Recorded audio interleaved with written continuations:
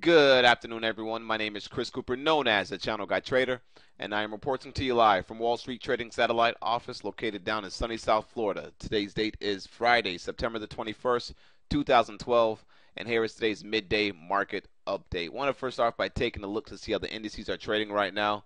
The uh, Dow Jones is currently up 31.86. The comp is up a little over 13 and a half here and the Russell's up five and a half, and the S&P is up uh, close to four points.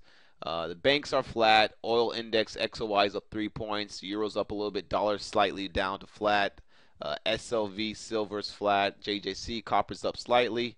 GDX gold miners up 39 cents. GLD up 45 cents here. Not a, much going on today. Today is quadruple witching, so there are a lot of there are a lot of um, stocks are getting pinned at certain levels, to, and just seems like pretty, today's pretty much a slow day.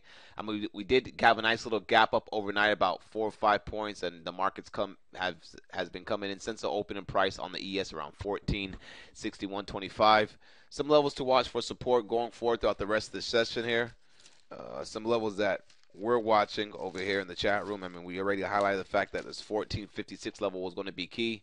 And you can see so far we're still holding above 1456. To, to the top side, we have to watch that 1460 area. 14 holding above 1460 would have been good today, but the buyers weren't able to to hold price up, so we came right back in. Uh, previous day's close is 1455. I'm sorry, previous day's highs on the ES is 1455, and then we're going to have to watch the 1455 previous day's highs and 1454 previous day's close. Um, aside from that, as as long as we really just can hold above this 1455 uh, today against previous day's highs, that that should be good enough going into the weekend. You can see here on the five minute chart, we are in a downward channel. All right, you can see we had a, like a little fake breakout attempt right here.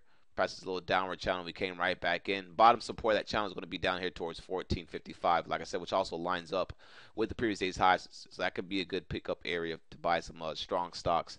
Some uh, strong stocks across the board today. Starting off with DR, uh, starting off with DRI, which uh, I mean it was start off started off strong early this morning when it broke above 57.40, hit hit a high at 57.69, then pulled back in. Let me bring this over for you guys here real quick.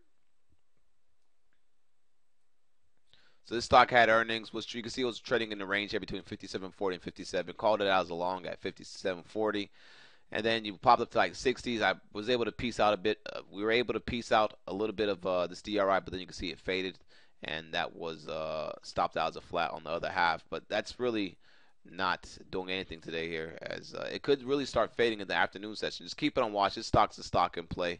You know that that that was a little fake breakout right here, and you know luckily, you know it didn't crash hard enough where you weren't able to get out for a flat. So just keep that one on watch. DRI uh, I know Coors was in play this morning from the, the, the guidance that they gave, and this one as well. See, Coors tried to break out, break out past a new high, and it just faded. And that's what we're seeing today in some of these stocks that are in play, breaking out to new highs in, from the uh, early morning highs and fading. Uh, TIBX called this out as a short in the chat room. We got sh- involved to the short side around 30.75. All right, and now we're st- I'm still short that stock with a break even stop at 30.72 with the you know, just letting this one ride down and trailing the stop as I was able to clip out some. We were able to clip out of some around the 30, uh, 40 area, around that level there on the TIBX. Uh, another stock we were watching today, KBH. Uh, some traders in the chat room are trading this KBH. KBH had earnings. Uh, you know, they like the earnings. The home builder sector has been strong. Had a nice little breakout over 1365 and already ran a point. This stock is on fire today, up 11%.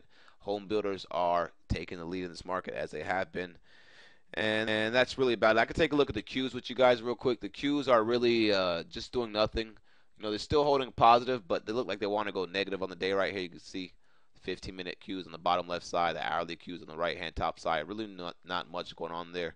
Uh, you could draw a little downward trend line in. All right, and same thing, then draw a little parallel channel line here, and you can say, okay, we got a nice little downward channel. So you kind of use this little area right here to maybe try to scalp some Qs or scalp some stocks in the Nasdaq. But uh, aside from that, guys, just really quiet market. You know, markets trading sideways. Some stocks are selling off, off the off the gap up. Some stocks are holding their gap up highs. and short all strength like KBH. I mean, take a look at uh, Lennar. Let's see what this home builder is doing. This home builder is breaking out.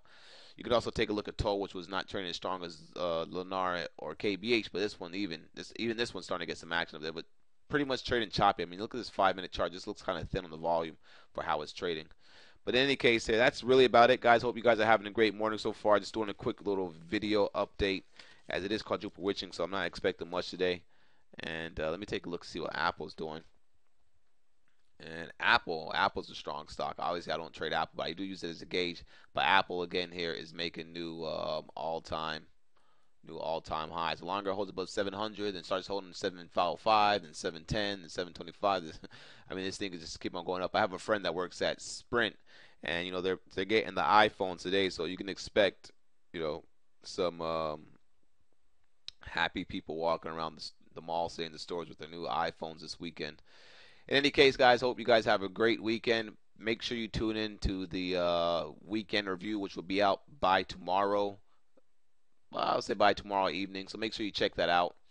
And then Sunday night at 9:30 p.m. we have our Sunday night live chart session. Make sure you're there. If you have not been to our website yet, please go to wallstreettrading.com. Fill out the form on the right-hand side to get access to the My Wall Street TV Premier Trading Room chat room. Have live live trading news. A great group of guys calling out some great trades. Like we had one of the guys in the chat room called the Q Core earlier this week and wrote it down for the whole 10 point move drop with the puts. Some people had the stock.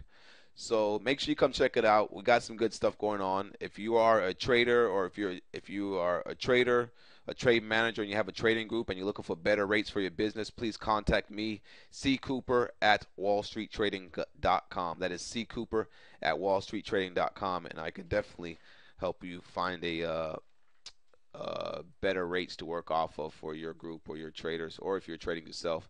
In any case, have a great weekend, guys, and I'll catch you guys um, for the weekend review. Have a good one, guys. Later.